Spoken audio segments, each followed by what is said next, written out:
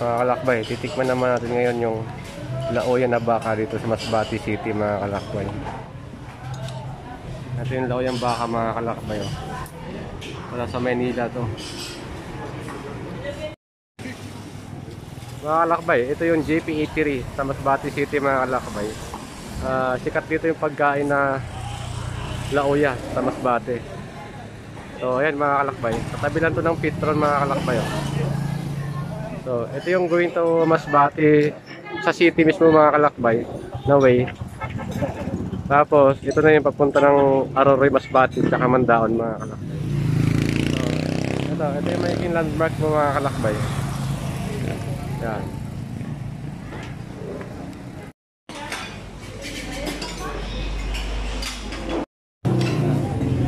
So, ito, ito na yung laoya mga kalakbay. Mga kalakbay. oh. Hindi tinipid yung laoya dito kalakbay. Madami, madami yung shopping.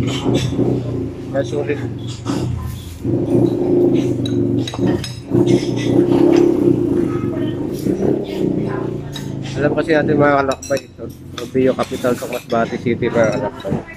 Ito yung mga baka dyan sa Maynila. Dito nagmumula yan. Sa Masbate. Paklay? Paklay, di ba? Paklay sa amin sa paklay. Pakulitan mo dyan mo ba eh? Paklay pa. Paklay. Paklay. Oh. Anong sabi niya? Hindi ko narinig eh. Ayun. Binulay. Buti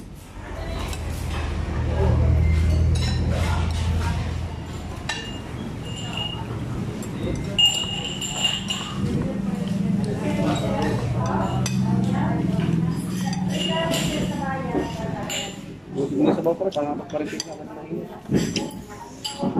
Ito mga kalakbay, andi sabaw tayo.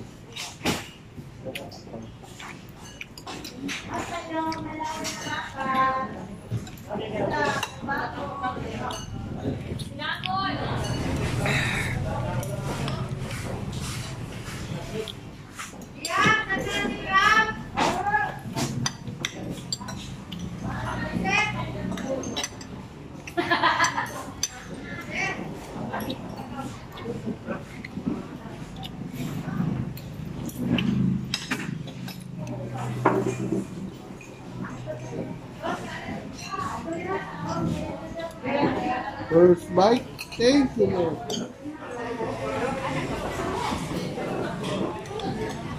Kahit walang sausawan mga kalakbay, lasang lasa na.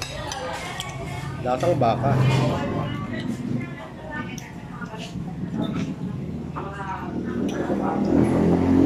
Ang siya kung kung papaigit. Mari doon na.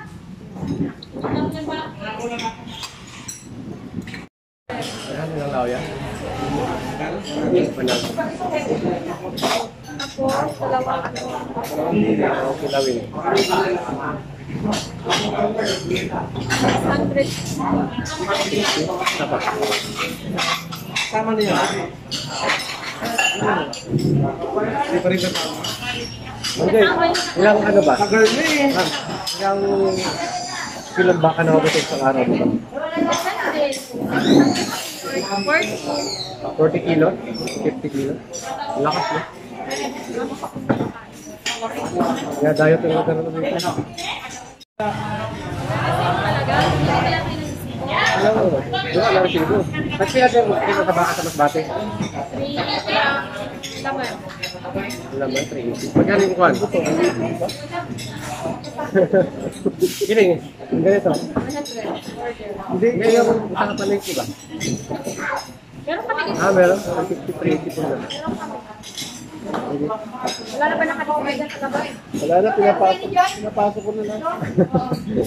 Joy,